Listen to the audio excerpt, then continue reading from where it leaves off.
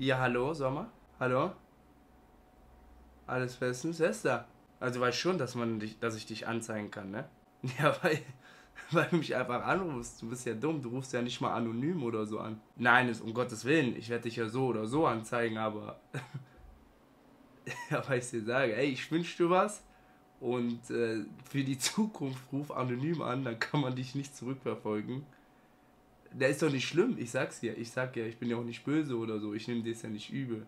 Ich sag dir einfach nur, dass es halt dämlich ist, dass du dich dumm angestellt hast, wenn du mit mir reden hättest wollen. Alles gut, mein Bruder, du kannst mit äh, meinem Anwalt reden. Der hat eh ein bisschen viel zu tun, aber ganz viel Liebe. Ich wünsche dir ganz viel Gesundheit. Ciao, ciao. Was ein Typ. Was wollte der jetzt? I don't know. Das Tolle ist, man kann Leuten, ähm, solchen Leuten, die sind halt doof. Die gehen ein Risiko ein